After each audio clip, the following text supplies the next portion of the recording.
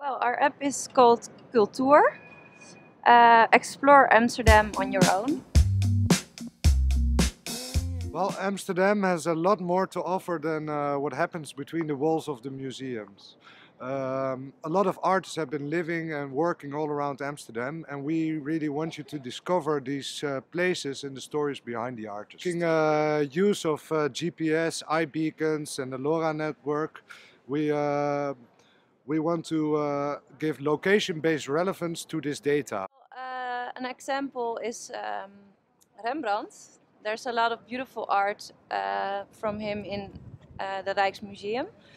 But um, almost every street corner here around us has a story. If people have the means, if they have the tools to go around and discover Amsterdam for themselves, they won't group in Museumplein or here at uh, Anne Frank, for instance. You know?